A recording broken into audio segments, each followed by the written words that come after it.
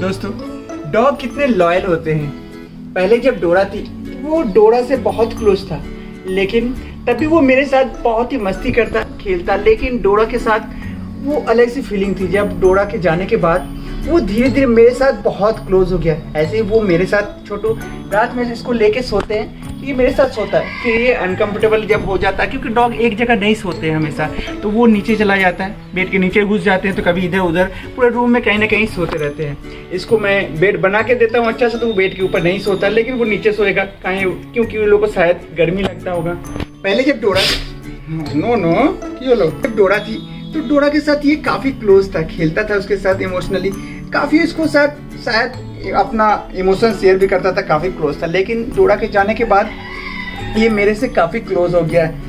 ये हमेशा मेरे साथ रहता है। मैं कहीं से आऊँ तो ये मुझे अटेंशन देता है, ये मुझे इम्पोर्टेंट देता है। ये सिर्फ़ एक डॉग का बात नहीं है, ये हर डॉग ऐसे ही होते हैं। तो डॉग हमेशा हर ऑनर के साथ ऐसे ही लॉयल रहते हैं। बस वो थोड़ा सा इम्पोर्टेंस चाहते हैं। आप उसके साथ थोड़ा सा खेलेंगे तो वो बहुत ज़्यादा खुश हो जाता है। जैसे हम लोग घर से, बाहर से घर आते हैं तो ये उछलने लगता है खेलने के लिए। क्योंकि उसे लगता है, अब कितना अच्छा हुआ, मेरा ऑनर आ गया, अब उस मैं उसके साथ खेल खेल पाऊँगा।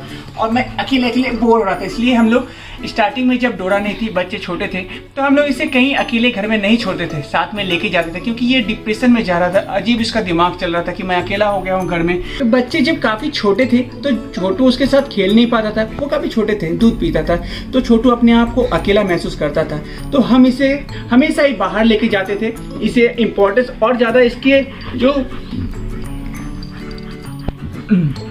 इसके जो खालीपन है इसके दिमाग में हमेशा ये घुसता घुसा रहता था कि डोरा नहीं है, अब मैं अकेला हो गया हूँ। तो उस चीज़ को दूर करने के लिए हमेशा हम इसके इसको अपने साथ रखते थे। लेकिन धीरे धीरे जब अभी बच्चे बड़े हो गए हैं तो छोटू धीरे धीरे अपने आप को चेंज करके बच्चों के साथ खेलने लगा है और बच्चे भी बहुत बदमाश हो गए। छोटू को तंग करके रखता है। तो छोटू भी अभी डोरा को प्रेजेंट में शायद भुलाने की कोशिश कर रहा हो या खुश रहने की कोशिश कर रहा हो, ये अभी काफ़ी हैप्पी है, खुश रहता है, मेरे साथ रहता है और हमेशा डॉग जो होते हैं, अपने ऑनर के प्रति काफ़ी लॉयल होते हैं। तो आप उससे प्यार कीजिए, वो आपसे दोगुना प्यार करेगा। वो कभी भी आपको हार्म करने की कोशिश नहीं करेगा। आप आप कभी डरते होंगे कि वो मुझे नोच दिया, काट दिया। नहीं, वो डॉग जो है ऑनर को कभी भी नोचता, काटता नहीं है। वो खेलने के लिए जाता है, हो सकता है बाई चांस उसका नाखून या फिर दांत लग जाए। वो कभी भी आपको हार्म नहीं करता है।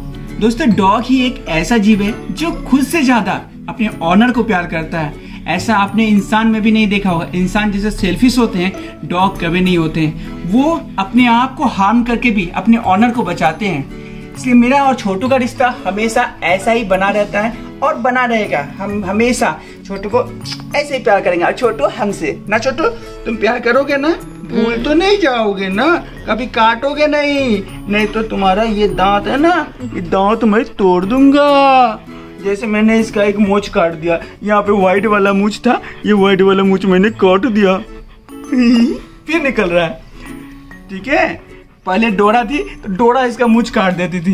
अभी अभी मैंने एक काट दिया तुम्हारा तुम्हारा मुझ नहीं है, तुम अभी अभी ये काफ़ी खुश है और मेरे साथ हमेशा ऐसे ही खुश रहता है। हम ऐसे इसके साथ हमेशा इसको तंग करते रहते हैं। डॉग कभी तंग नहीं होते हैं। वो हमेशा आपके साथ खेलने की कोशिश करते हैं। आपको लगता है वो अकेला बैठा हुआ है, उसको रेस्ट करने तो नहीं।